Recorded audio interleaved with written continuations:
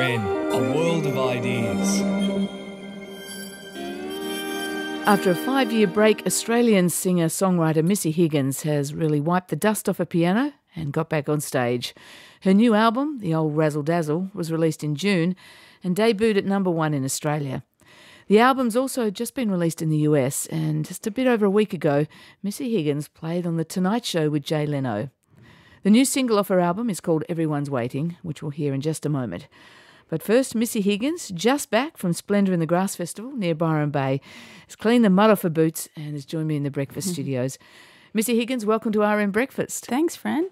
Uh, Splendour in the Grass, the first time in a while, I think you've been played played a festival in front of a big home crowd. How did it feel to get back on that stage? It felt amazing, actually. I was really nervous because it has been so long, and um, it's always I don't know. It's always a little bit more um, uh, vulnerable playing in front of an audience that isn't necessarily, you know, Paid just to your see them. fans, and they haven't necessarily paid to see you. Um, but it was. Yeah, it was overwhelming. I mean, they sung along to every song almost at the top of their lungs, and it just, yeah. My my band is um, from America, and they would just they had their mouths open the entire time. they couldn't believe it. Your new album, I think Love's coming at you from a lot of directions since you've released the new album, Oh Razzle Dazzle in June. It shot to number one. But it's been five years between drinks for you. It does seem as if you've fallen in love with music again. You look like that. It sounds like that. Yeah, I think I have. Um, it, yeah, we we had a few years there where we weren't really speaking to each other.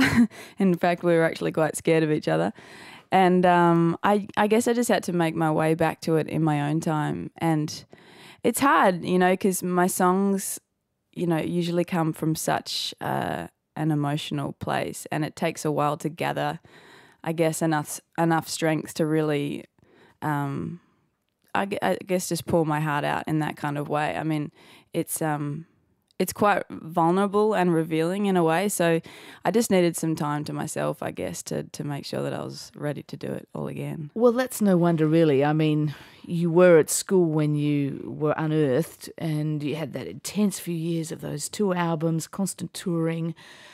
No wonder you needed some breathing space. It must have been a relief, though, to get writing again, to get singing again. Yeah, it definitely was. It it was sad for me because um, on one hand I wanted to leave music, but on the other hand I really didn't want to um, because it was all I'd ever known, and and I I really really used to. Um, to love it, and I mean, even when I had time off from music, I, I had that that knowledge and that memory inside of me that you know music does something really special to me, and and it's very very therapeutic. But I just couldn't write songs. I just had a huge blockage, and I just felt after a while that I, I obviously had no choice because the songs weren't coming, so I had to walk away. When you said you were you were scared of it, you were scared of each other, you and the music. What do you think you were scared of? Was was that the weight of expectation, or Definitely, just revealing Uh, too much? Or? I, I, you know, I really didn't know, and that was part of the problem. I didn't real, I couldn't really pinpoint what it was I was struggling with. So as a result, a lot of the songs on this album deal with trying to figure that out. There's a song called "Set Me on Fire" that's about that blockage and, and, and about the fact that music is kind of the only thing that can save me, but it's also this elusive thing that keeps running away from me. And there's a song called Everyone's Waiting, um, which is about that kind of anxiety of expectation. So it's it's poured out of you anyway, even though it took a while.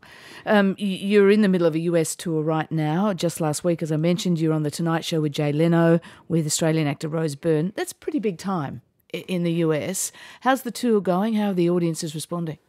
Really good so far. I mean, I, I really only just released the album over there, but it was my highest chart position ever there.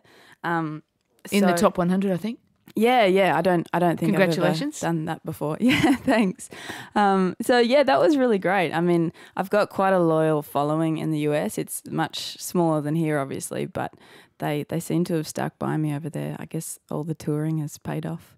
It seems to me, just looking on from afar at the changes you've made, is you've really taken charge of your music career. You've you found yourself a new collaborator and co-producer with Butterfly Boucher. She's an, an Australian. She lives in Nashville. Mm-hmm. Uh, she's playing in your band. Uh, do you feel more in control of, of, the the process of your music now? Has that been yeah a part definitely. of this five year layoff? Definitely. Um, that was that was part of the thing. I guess I needed to take back some of that control because I felt as though I was on a train that had its its brakes kind of broken. Um, but I yeah I I really made sure that when I if I, if I was to do another album again, I really wanted it to be just about having fun and about collaborating with people that inspired me and being out of the uh, out of the way of the record company. I just I didn't want their involvement. I just I just wanted to do it on my own time with the people that I wanted to, and then you know come to them with exactly what I wanted to release and and I guess to be able to do that, you need to be a, a, more mature person. It's part of maturing that you have that confidence and the capacity and the professionalism mm. um, and belief in your professionalism to be able to do that. Yeah, I guess so. And I, I guess it just took maybe me, you had to catch up with yourself. I think so. I mean, I did. Yeah, I did start quite young, and you know, I, I got signed when I only had a small bunch of songs. So it really took a while to kind of get my own sound and develop to develop that kind of confidence. And I think, yeah, I, I feel like I have learned a lot about myself over the last few years and and just kind of hitting my stride creatively. The sound with this band is different too. It's a bit it's a bit rockier, it's a bit less singer-songwriter. Yeah, it's Why? a little bit less kind of acoustic.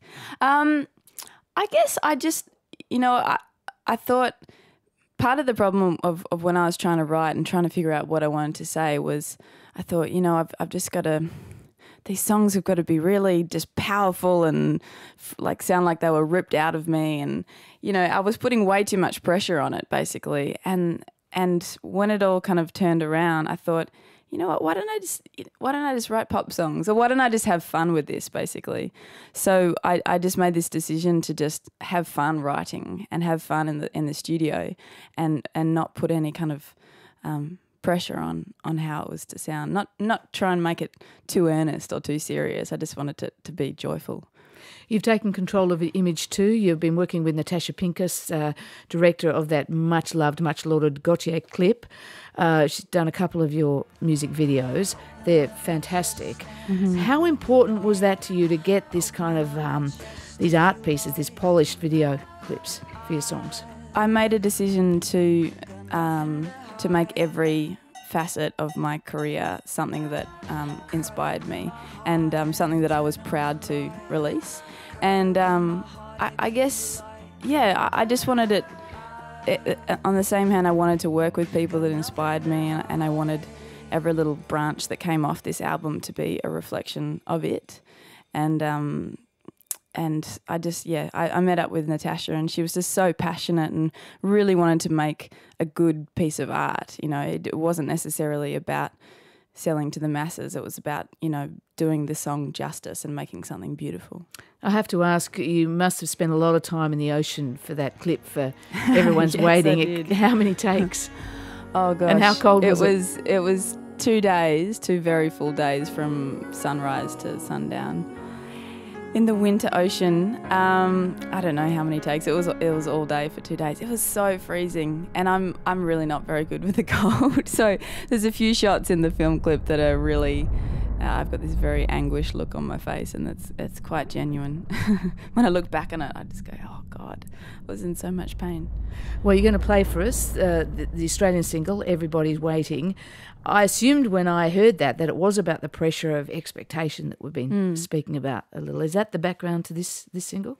Yeah, definitely. I I wrote this song as as one of those um, one of those songs that I, I, I needed to write in order to get over kind of my, my blocked feeling. I thought, you know, if if I'm going to um, if I'm going to be able to kind of I guess free myself up to just have fun with this, I've got to really face head on what my biggest fears are. And, and I think my biggest fears were the fact that not only was everyone waiting for me to release something else, but also I had this huge expectation of myself.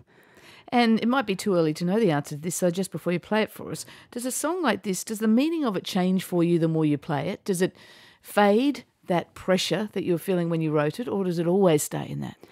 Um, no, it definitely can fade and take on new um, new personalities and, and new lives. Um, I've heard a, a lot of kind of different stories of of um, of people who've I guess adapted this song to certain aspects of their life. Like a, um, a friend of mine told me that um, when she heard it, it really brought her back to her pregnancy and being in labor and just feeling as though everybody was waiting and she couldn't do anything about it. And um, yeah, there's been a few stories like that that have that have just made me think, wow, this is yeah, it, it really can be kind of adapted to many facets of life. So, well, everybody's waiting to hear you sing. Let's hear it, Missy Thank Higgins.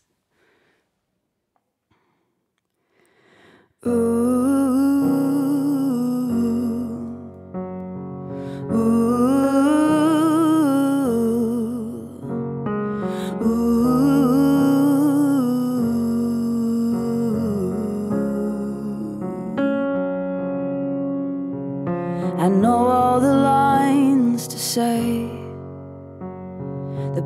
I'm expected to play. But in the reflection, I am worlds away. As I put my costume on, all ashes one by one. Been doing this so long, I could tie the knot behind my back and everyone's waiting.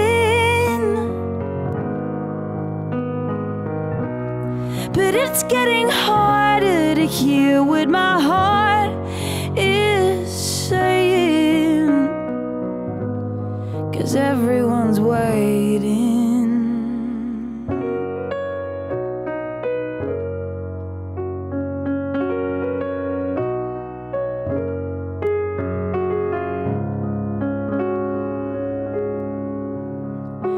Swallow and breathe, she says. Remember, this ain't for you, it's for them. And all of those painful lessons you've had to learn. You gotta use them now or never. Cause everyone's waiting.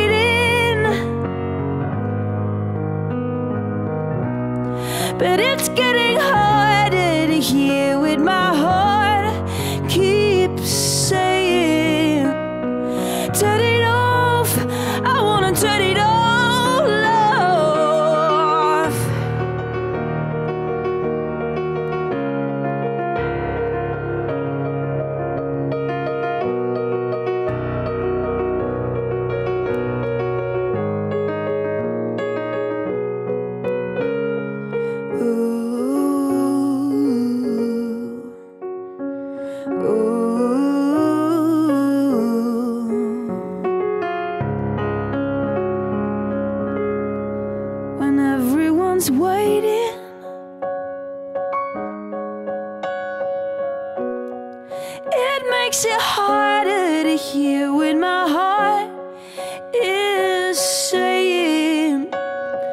Turn it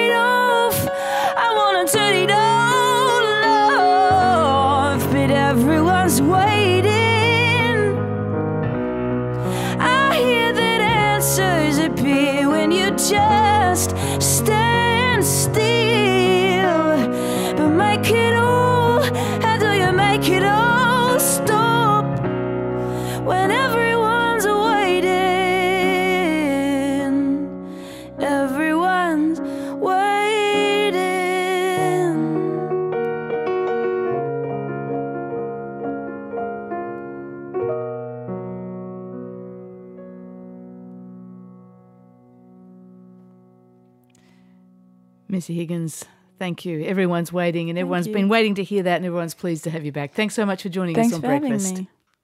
Missy Higgins, Everyone's Waiting. That's the new single from her new album, The Old Razzle Dazzle. And Missy Higgins back with a national tour starting in November. You're listening to RN Breakfast.